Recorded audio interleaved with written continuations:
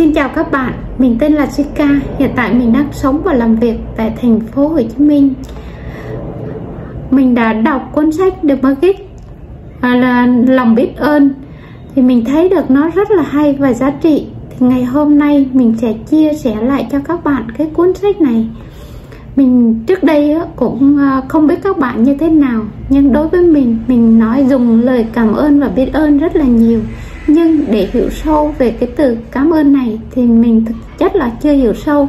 Và khi học được thì mình mới biết là trước đến giờ, cái lời cảm ơn nó rất vô cùng giá trị. Nhưng mình chỉ dùng nó để làm công cụ để xã giao trong cuộc sống. Thì khi các bạn hiểu được cái giá trị của lòng biết ơn thì các bạn thấy được nó giá trị vô cùng đối với cuộc đời của chúng ta. Thì đầu tiên đó, lòng biết ơn nó chứa đựng rất là nhiều bài học quý giá. Và mình sẽ chia sẻ lại tất cả các những cái bài học đó cho các bạn cùng theo dõi nhé. Lòng biết ơn là giúp cho chúng ta tập trung vào những điều tích cực trong cuộc sống. Khi ta tập trung vào những điều tích cực thì trong cuộc sống á, chúng ta có xu hướng cảm thấy hạnh phúc và tạo ra cái năng lượng tích cực. Thay vì tập trung vào những cái điều mà mình không mong muốn hay là những điều tiêu cực hãy tìm kiếm những điều tích cực xung quanh chúng ta và cảm thấy biết ơn với những điều đó. Ví dụ như ngày hôm nay các bạn đã làm được gì này thì các bạn uh, liệt kê ra và các bạn cảm ơn những cái điều đó mình đã hoàn thành và đã hiện diện trong cuộc sống của mình.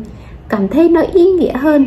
Và đặc biệt là có một điều mà Sika cảm nhận được nữa là khi ví dụ như là cảm ơn một người nào đó thì các bạn viết ra là lý do vì sao các bạn lại cảm ơn người đó. Và khi mình hành động như vậy đó, thì cái ý nghĩa lời cảm ơn trong con người chúng ta nó rất là giá trị. Và lòng biết ơn chúng ta đối diện với những thử thách và khó khăn trong cuộc sống.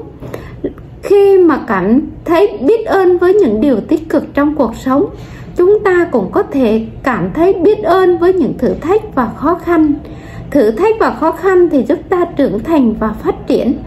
Và khi ta cảm thấy biết ơn với những thử thách đó, chúng ta cũng có thể cảm thấy sức mạnh và khả năng để vượt qua chúng một cách rất là dễ dàng.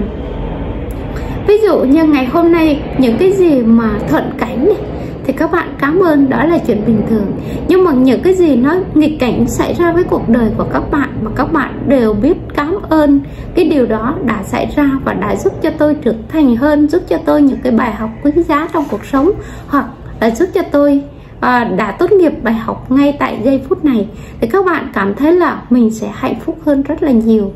Và lòng biết ơn thì giúp chúng ta tạo ra mối quan hệ tốt hơn với những người xung quanh khi ta cảm thấy biết ơn với những người xung quanh, chúng ta có cái xu hướng thể hiện cái trân trọng và sẵn sàng giúp đỡ mọi người. Điều này có thể giúp chúng ta tạo một mối quan hệ tốt hơn với bạn bè, gia đình và đồng nghiệp. Cái điều này thì à, bản chất từ Sika đó, Sika ngộ ra cái bài này rất là sâu sắc. Vì khi cơ thể mình nó là nước, và nước thì rất cần một cái nguồn năng lượng năng lượng và khi được tác động bởi à, những cái năng lượng tích cực những cái lời biết ơn những cái lời trân trọng thì cái cuộc sống của mình con người của mình nó tràn trề năng lượng. Và vô tình đó thì các bạn con người các bạn năng lượng và tích cực thì các bạn sẽ hút những cái nguồn năng lượng tích cực. À, mây tầng nào thì hút mây tầng đó các bạn là những người tích cực thì các bạn sẽ hút những người tích cực về với bên cuộc đời của các bạn và Sika đã cảm nhận và thấy được cái điều này rất là rõ ràng. Lòng biết ơn là một phương pháp tuyệt vời để giúp các giảm căng thẳng và lo lắng. Khi mà trong trong cái suy nghĩ của các bạn ấy, mà có một cái điều gì đó làm cho các bạn áp lực, làm cho các bạn phải lo lắng, thì các bạn hãy nghĩ tới lòng biết ơn biết ơn điều đó biết ơn sự việc đã xảy ra với tôi. Biết ơn người đó đã cho tôi một câu nói tốt nghiệp bài học. Biết ơn người đã giúp tôi trưởng thành hơn trong cuộc sống. Biết ơn người đã cho tôi một cái động lực để tôi à, những cái cuộc sống tiếp theo của tôi sẽ tốt đẹp hơn. Lòng biết ơn là một phương pháp tuyệt vời để giảm căng thẳng và lo lắng khi ta tập trung vào những điều tích cực và cảm thấy biết ơn với những điều đó, chúng ta có thể giảm căng thẳng này, giảm lo lắng này. Việc thực hiện lòng biết ơn có thể giúp chúng ta tập trung vào những điều tích cực trong cuộc sống, giúp chúng ta cảm thấy thư giãn hơn và bớt sự lo lắng hơn.